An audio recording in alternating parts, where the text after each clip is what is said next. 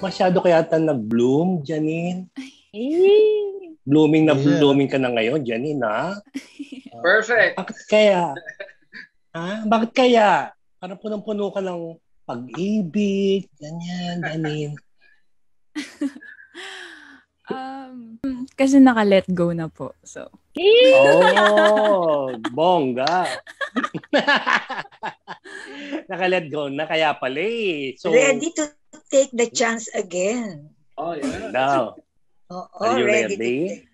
Is that true, Janine? um, yeah, sige po, why not? Ah, ba?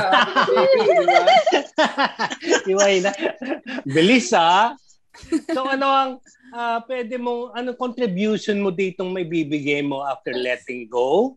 And now, merong umaligid-aligid sa Janine? Um, well, I, I honestly just want to share my music po. Um, my my new original songs, and I think, um, I I I I'm thankful na I got to do that through this concert, through Four Hearts, and with them pa.